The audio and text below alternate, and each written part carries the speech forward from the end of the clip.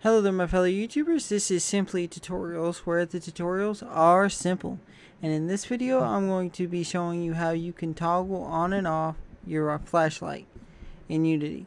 Stay tuned.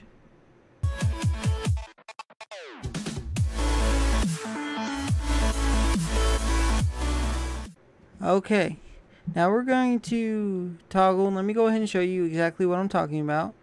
Um, I built this script called flashlight and we're going to put it on the actual flashlight. First press right there flashlight test boom boom. And we're going to go over here to the actual gaming portion of it of unity. We're going to start it up.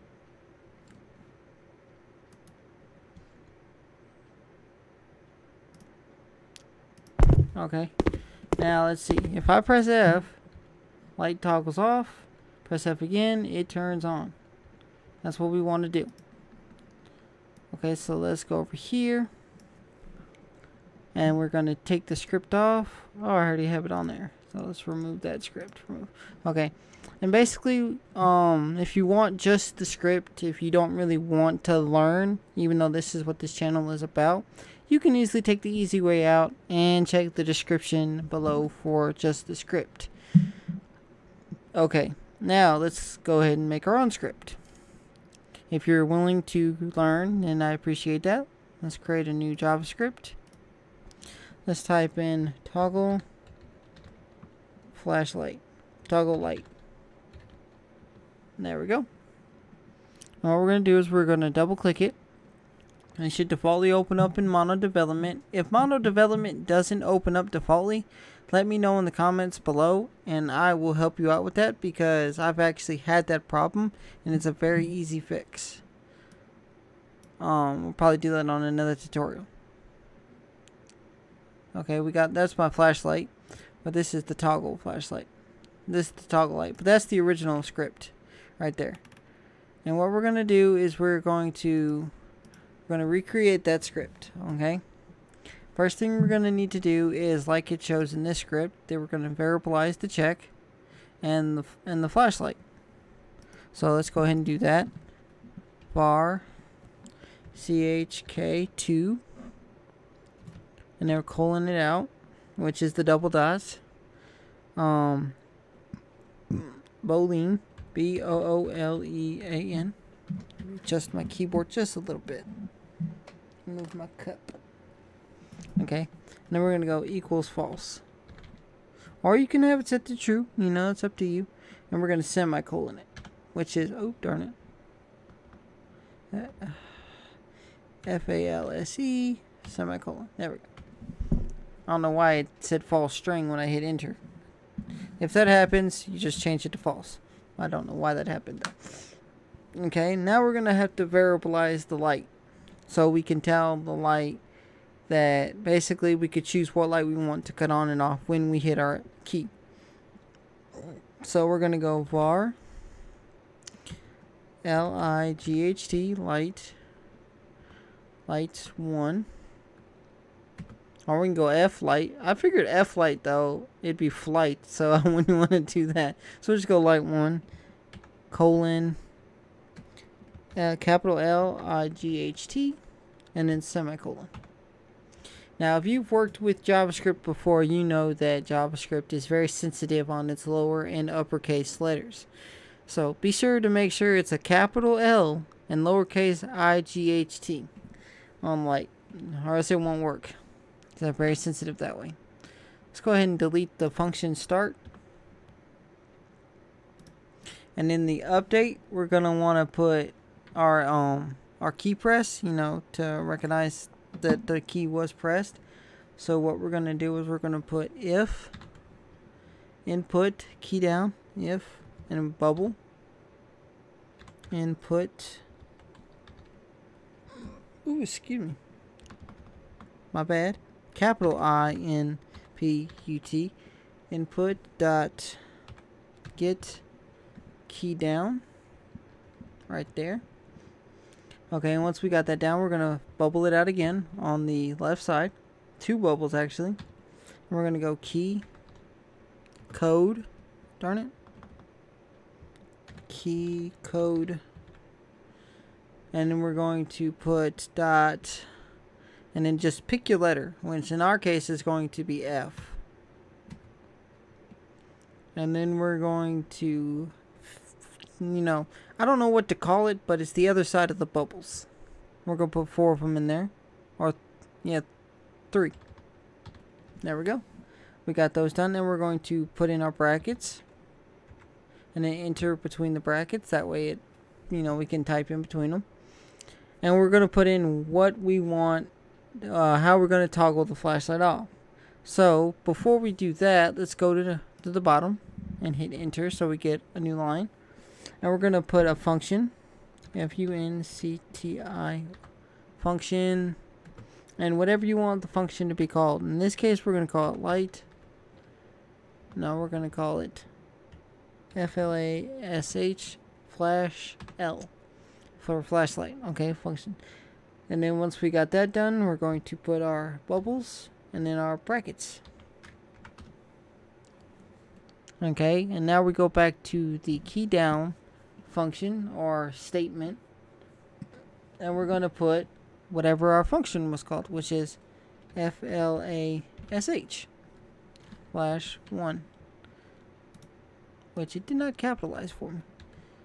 There we go. No, ooh, I put 1. I meant to put L. My bad. Okay, and then we're gonna bubble. Oh, cap hitting cap locks. My bad. And then we're gonna put a semicolon behind it. There we go. And that way, when you hit the F key, it's actually going to call on whatever we have in our function. And in this case, this is pretty long, so I'm just going to copy and paste it, but I am definitely going to go over it.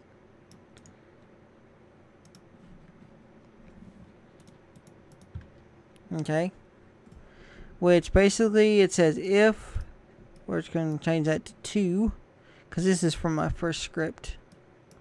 So let me go ahead and do that real quick and then I'll go over everything. Okay. 2 2 okay. Everything's equal to 2 that's good that's what we want. And then we're going to go change that to the light. 1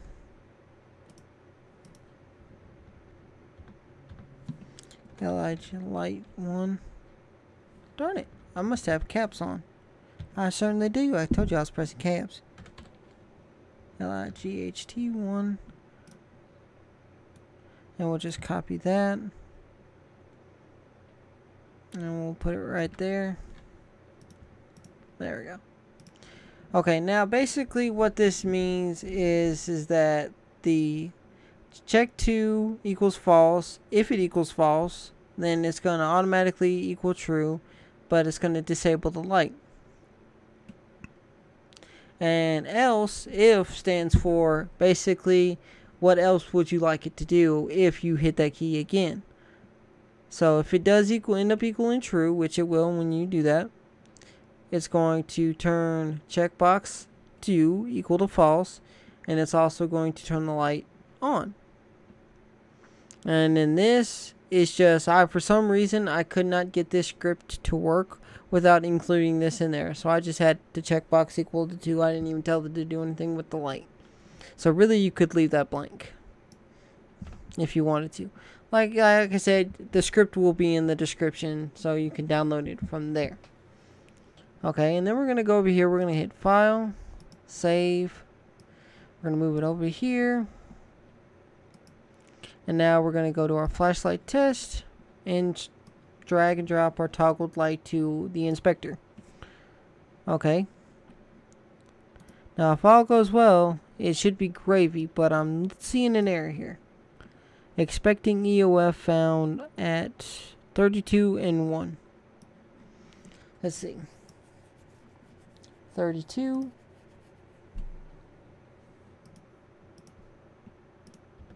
Okay, let's delete that and then we'll save it. That should get rid of our error. Our error. There we go, okay. There we go, that's what I'm talking about. Okay, if you noticed over in the inspector that we got our checkbox too. and we got our light. So what we're going to want to do is take our, open our light, and we got a spotlight here. And we're going to drag it to the light. Light uh, inspector box, game object box. I don't know what you call it. If you know what to call it, please let me know. Let's go ahead and test our game out. Now let's hit F. Doop doo doo. F. And it works. It works really good. And that is how you do it. Um, I will have tutorials coming up soon um, on triggers so you can turn it off if you wanted a light switch and you wanted the overhead light to turn on and off. Um, it's actually just it's just as easy. It's the same, even the same script with some slight differences. So, um, I just be forward to be looking to, for that soon. I know I've did a lot of Adobe Photoshop tutorials, so I'm trying to spread my wings and do more Unity tutorials um, as I go on. So, but anywho, I hope you enjoyed this video. I hope um, you learned something from this links is always in the description. You could always give me that like button. You can always hit the like button. You could always hit that dislike button. You could hit that subscription button if you'd like to see more Unity tutorials or any tutorials whatsoever. If you have suggestions, that's what the comment section is there for. And I do read all the comments. Every comment I get, I read it. You know, I actually pride myself in the fact that y'all are commenting on my videos, even if it's to tell me I suck the fact is you watched the video, you thought it sucked, and that's your legitimate response. But, eh, it's, it's all gravy, I guess. And uh, I guess I'll see y'all in the next video.